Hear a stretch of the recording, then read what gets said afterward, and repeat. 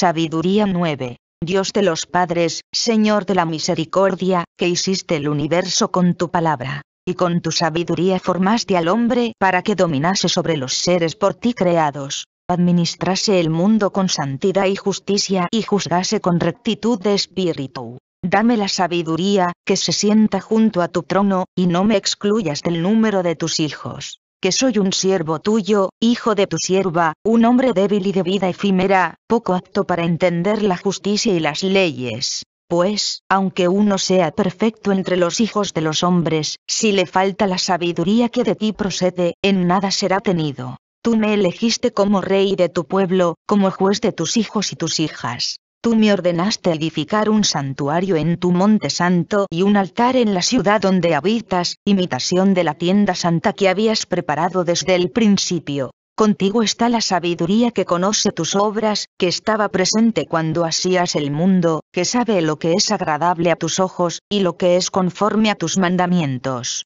envíala de los cielos santos, mándala de tu trono de gloria para que a mi lado participe en mis trabajos y sepa yo lo que te es agradable, pues ella todo lo sabe y entiende.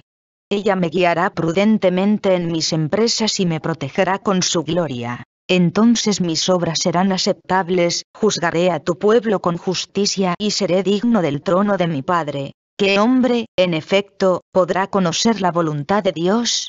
¿Quién hacerse idea de lo que el Señor quiere? Los pensamientos de los mortales son tímidos e inseguras nuestras ideas, pues un cuerpo corruptible agobia el alma y esta tienda de tierra abruma el espíritu lleno de preocupaciones. Trabajosamente conjeturamos lo que hay sobre la tierra y con fatiga hallamos lo que está a nuestro alcance. ¿Quién, entonces, ha rastreado lo que está en los cielos? ¿Y quién habría conocido tu voluntad, si tú no le hubieses dado la sabiduría y no le hubieses enviado de lo alto tu Espíritu Santo? Solo así se enderezaron los caminos de los moradores de la tierra, así aprendieron los hombres lo que a ti te agrada y gracias a la sabiduría se salvaron.